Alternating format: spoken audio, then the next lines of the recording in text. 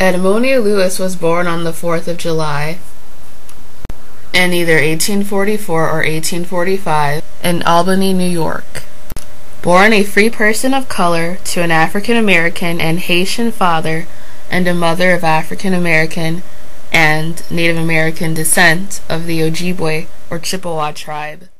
After her parents died, she lived with her aunts and made Ojibwe baskets in order to make a living selling them to tourists in Niagara Falls and Toronto, Canada, as well as in Buffalo, New York. Her brother Samuel earned enough money to send her to New York Central College, which she attended between 1856 and 1858. But since she did not learn English well, her brother suggested she transfer to Oberlin College. Oberlin College, a private liberal arts school, located in Oberlin, Ohio, was founded in 1833. It was the first college in the United States to admit female and black students. In April 1861, the Civil War began. Eleven states seceded from the Union, and then a federal fort called Fort Sumter was fired on by Confederate rebels.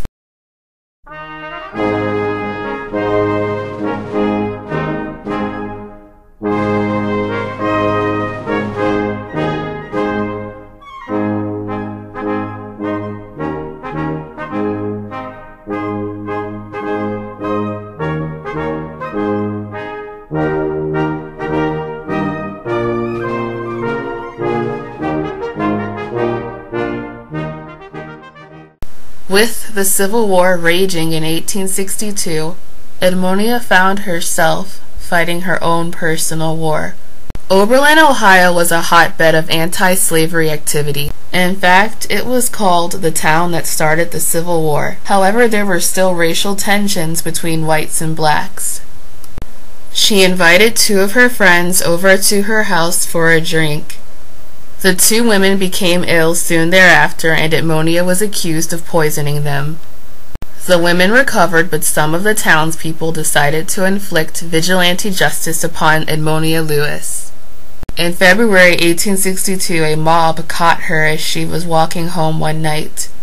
They dragged her into a field and beat her severely. After the attack, she was arrested and charged with the poisoning of her friends.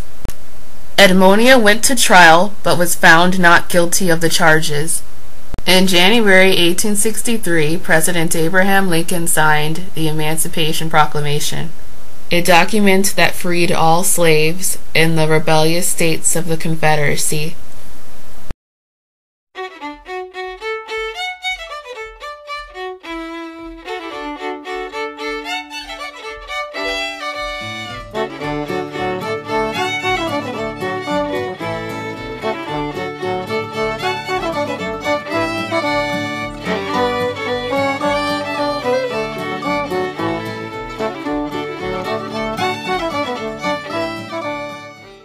In February 1863, once again Edmonia found herself in trouble. She was accused of stealing brushes, paints, and a picture frame, and she was subsequently not allowed to graduate. After being advised by famous black abolitionist Frederick Douglass to go east, Edmonia moved to Boston in late 1863. Boston was the capital of the American anti-slavery spirit.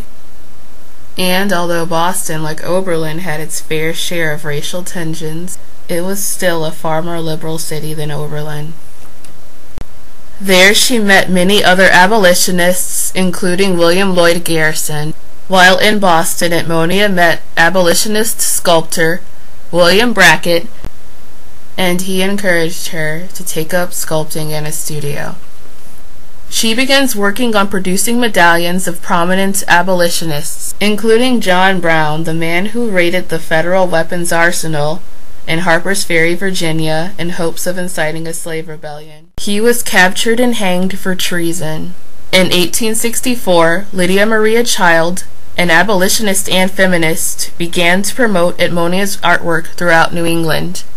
Later that year, in August, Edmonia began to work on a bust of Colonel Robert Gould Shaw, the fallen leader of the 54th Massachusetts Infantry, which was the first all-black regiment mustered up by the North during the Civil War.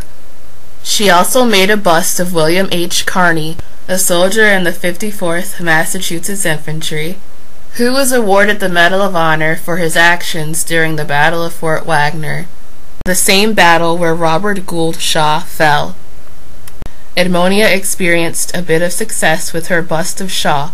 She sold 100 copies. In January 1865, the bust of Shaw was promoted in the National Anti-Slavery Standard and in the Liberator. In April 1865, the Civil War, the bloodiest war in American history, came to an end. In July of the same year, Edmonia went to Richmond in order to teach newly freed slaves.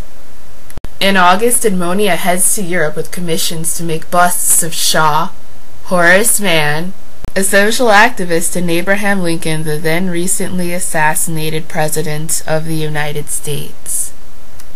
December saw the ratification of the 13th Amendment, which officially ended slavery throughout the United States. In January 1866, Edmonia moved to Rome, Italy.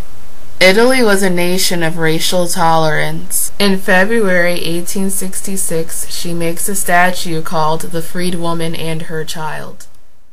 That summer, she began working on one of her most well-known works, Forever Free.